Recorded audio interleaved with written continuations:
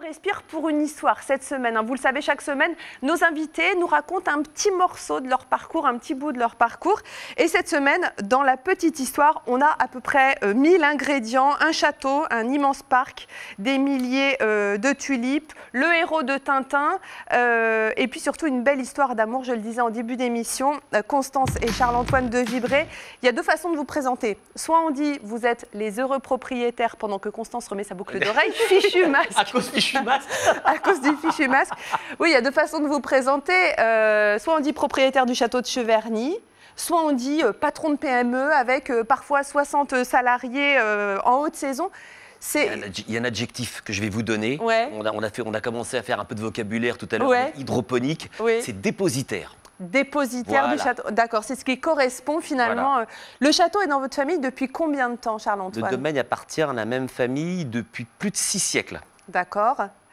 Qui était euh, le premier à vivre dans ce château, vous Eh le bien, savez non, alors, euh, en fait, parce que là, en fait, le, le- le- le- le domaine est en soi plus vieux que le château lui-même. D'accord. Il y a eu un premier château qui était sur une base féodale dont il reste euh, rien ou pas grand-chose. Oui. Et un nouveau château a été construit au début du XVIIe euh, entre euh, deux personnes qui s'aimaient à la folie. Ils ont créé le château de l'Amour. Ah mais donc en fait voilà, Ah, il faut Ah bah, s'aimer la- pour être décliné à toutes les sauces. Bon, ben Voilà. justement, alors parlons d'amour. Constance Duclosel, vous avez 20 ans, vous êtes étudiante à la Sorbonne en licence d'allemand, brillante élève. Charles-Antoine euh, de Vibré, vous avez 28 ans, derrière vous des études de droit euh, international et puis un long stage aux États-Unis. Et là, chacun de votre côté, vous arrivez au même lieu, au même endroit, c'est lors d'une soirée privée, je crois, euh, au musée Grévin. Et là, qu'est-ce qui se passe, Constance? Et là, c'est le coup de foudre. la maîtresse de maison nous présente et, et on se quitte pas de la soirée. Ouais. Et, euh, et voilà, alors Charles-Antoine ne restait jamais très tard euh, dans les soirées. Donc, euh, je- deux heures après, il me dit il faut que je reparte euh, à Cheverny. Moi, je ne savais euh, pas où était Cheverny. Repartir où? Et, euh, et voilà, et puis après, bah, je crois qu'il s'est arrêté dans un café avant de reprendre la route en se disant non, non, il se passe quelque chose dans ma vie, je ne peux pas reprendre la route comme ça. Et vous êtes retourné? Non Non, j'y êtes- suis pas Ah bon retourné. non, non, mais, Mais il y heureusement, avait le j'avais pris le numéro de téléphone quand Ah, même. Alors, c'était pas un 06 à l'époque. c'était Bah un- non. C'était Un numéro à six 40, chiffres. euh, Ouais, voilà. même à 8, non pas à 10. Et on puis, était obligé voilà. de se présenter auprès des parents euh, avant de prendre le- la personne en direct. Donc tout le monde Ah ouais, savait qui il y avait ouais, toutes ces phases un peu. Ouais. Et puis finalement, rapidement, quelques rendez-vous suffiront, si j'ose dire. Trois rendez-vous Euh, en fait. hein. trois rendez-vous Ouais. pour qu'un un- un immense mariage soit célébré. Mon Dieu, quelle princesse vous étiez, euh, Constance. Je suis pas forcément très euh, voilà, fan des robes de princesse, mais alors là, quand même, cette traîne. Euh, finalement, quelques rendez-vous et euh, vous allez demander Constance en, Oui, en mariage oui. Ouais, sûr Oui. de vous Oui, oui, sûr, oui, sûr, sûr. Oui, sûr. Bien, bien entendu. Intimidé, mais sûr. Intimidé mais sûr. Constance, vous connaissez Charles-Antoine, mais finalement, vous épousez Charles-Antoine et Cheverny.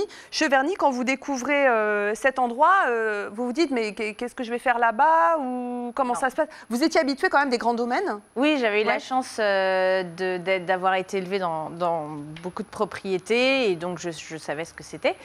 Euh, mais là, j'avoue que je ne réalisais pas du tout. J'étais, je pense, naïve, Oui. Euh, amoureuse, euh, candide, je ne sais pas. Mais euh, peu m'importait que j'aille à Versailles ou sous les ponts. C'était avec lui. Je voulais juste vivre avec l'homme que j'aimais. Donc, bon, j'ai eu la chance d'avoir des parents qui eux-mêmes ont, ont vécu un, un coup de foudre à l'âge de 17 ans D'accord. qui m'a quand même beaucoup aidé puisque 50 ans après ils sont toujours mariés donc ils savent ce que c'est Ouais. Euh, et ça a été moins difficile de faire avaler la pilule effectivement euh, de, Ouais, de je dire euh, j'ai vu cet homme trois fois deux heures dans ma vie et je veux l'épouser Et finalement, ça dure. Euh, c'est un château, on le voit, avec, euh, je crois, plus d'une vingtaine de pièces, 28 pièces, euh, il me semble. Et un château 52 en tout. 52 Ah, 52, pardon voilà. Ah oui, j'étais loin du compte. 52 dont, dont la moitié est, est ouver- sont ouvertes à la visite. Voilà, parce que la spécificité, d'ailleurs, je crois que c'est l'un des premiers euh, châteaux en France dans lequel on vit vraiment, c'est-à-dire vous ne jouez pas à vivre là-bas, c'est vraiment votre vie d'habiter voilà. à En fait, on, Cheverny. on habite dans la partie droite du château. Voilà, et donc je le disais tout à l'heure, quand, on est, euh, quand on est dépositaire, puisque c'est le mot que vous avez employé tout à l'heure, du château, on fait tout. On reçoit du public, et là c'est pareil, c'est un des premiers châteaux qui ouvre au public, et puis on crée des événements. C'est-à-dire que bien sûr le château est beau, le, le domaine est magnifique, les jardins le, le sont aussi, mais il faut créer de l'événement, il faut créer Ouais. de, de l'appétence, on va dire. Et parmi les réalisations, il y a quand même ce ruban. Ruban de 350 000, je crois, bulbes ont été plantés euh, Sur le domaine. sur le Et domaine. 250 000 juste dans, dans le banc de tulipes. Dans le ruban de tulipe. Ouais. Ça, c'est votre création, euh, Constance? Oui, les fleurs, c'est ma, ma création en fait. Ouais. Euh, quand je suis arrivée, bah, c'est vrai qu'il n'y avait pas beaucoup de fleurs. Ouais. Et euh, moi, je suis arrivée avec ma passion. Euh, et voilà, j'ai dit à Chantoine, écoute, il va falloir qu'on plante un petit peu. Et puis, il Un petit peu les rênes. Va donc chercher 350 Et, euh, bulbes. 26 ans après, on, on- on a six jardins. Ouais. Donc, euh, donc c'est fabuleux. On y vient pour ses jardins ou on y vient pour son château finalement à Cheverny? Un ensemble? Oui, alors, bien sûr, Ouais. une, une complémentarité. Je pense qu'il y a, il y a plus guère de, de monuments qui peuvent s'entendre sans, sans des jardins, sans, sans un environnement, sans un écrin Ouais. euh, végétal, de verdure.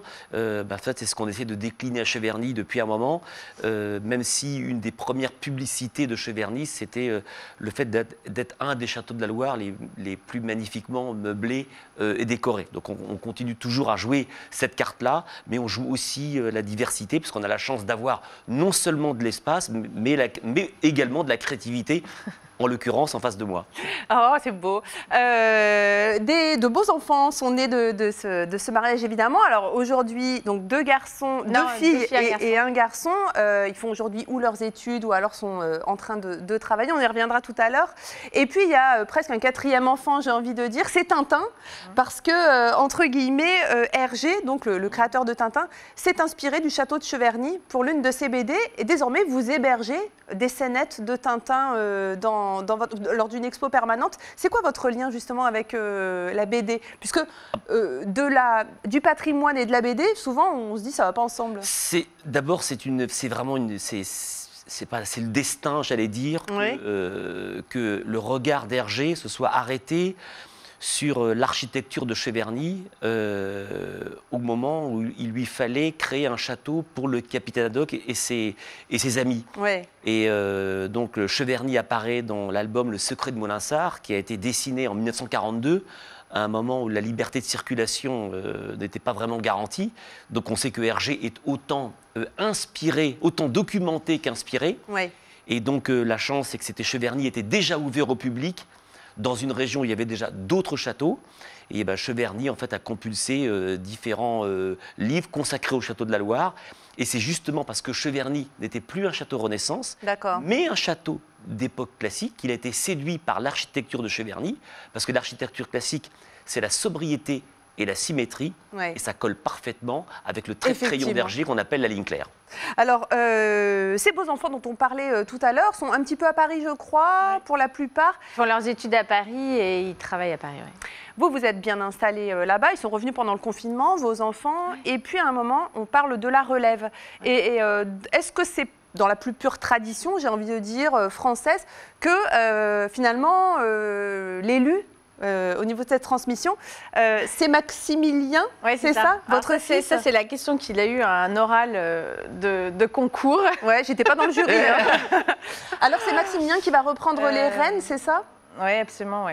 Pourquoi? Alors, les, les trois sont très attachés puisque nous Ouais. avons fait le choix d'habiter dans l'aile droite du château qui n'est pas visité, Ouais. mais d'habiter le château même pour qu'ils aient Donc, depuis tout petit, tout n'ont connu que ce, la ce- Madeleine de. Proust qui interviennent, les odeurs, les souvenirs, etc. Ouais. Je les- on les avait beaucoup, beaucoup impliqués.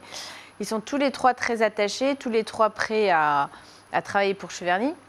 En revanche, mais on ne peut pas vivre à trois familles euh, sur, euh, Ouais. sur Cheverny en, en- en ce moment. Euh, donc, euh, bah, c'est celui qui. Qui a levé la Je te main laisse- Je te laisse. Non, Quel non. conseil vous allez donner c'est- à Maximilien finalement? Euh, mais en fait, juste pour, pour terminer, c'est peut-être c'est- c'est cette différence-là, fille-garçon, c'est Ouais. un peu le sujet. C'est qu'en fait, euh, dans des histoires de famille comme la nôtre, c'est un héritage. Euh, Vous dire famille noble patronomique, patrine- pat- euh, du, pat- du patronyme également. Ouais.